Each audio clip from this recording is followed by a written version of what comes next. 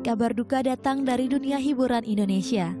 Seniman senior Laila Sari meninggal dunia pada Senin 20 November pukul 19.50 waktu Indonesia Barat di usia 82 tahun. Laila Sari lahir pada tanggal 4 November 1935 di Padang Panjang, Sumatera Barat. Ia memulai karirnya di dunia entertainment dengan bermain di film layar lebar, Wajah Seorang Laki-Laki, pada tahun 1971. Artis dengan nama lengkap Nur Laila Sari Jahrotul Janah ini diketahui tinggal bersama dengan anak dan cucunya di kawasan Kampung Artis Tangkiwut, Jakarta Barat. Di usianya yang sudah tidak muda lagi, dirinya masih menjadi tulang punggung keluarga dan mengalami kondisi ekonomi yang memprihatinkan.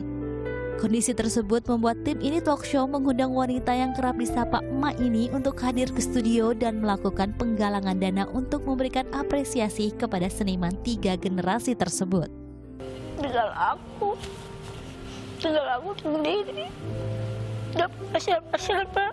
Ya ada rezeki ya aku nerima. Alhamdulillah tapi ada aja nanti ada yang ngasih beras. Ada yang ngasih uang. Ya aku sedih dengan ya. begitu. Mudah-mudahan ma nggak terus larut bersedih ya ma ya. Ya, Dari mudah kami juga tim ini Talkshow ada sedikit bantuan untuk Mak Laila. Mudah-mudahan bisa bermanfaat ya Mak ya. Mak pengen banget kalau misalkan mau ngambil air susah katanya Mak ya. Iya kok tahu sih. Tahu dong Mak. Sule. Iya.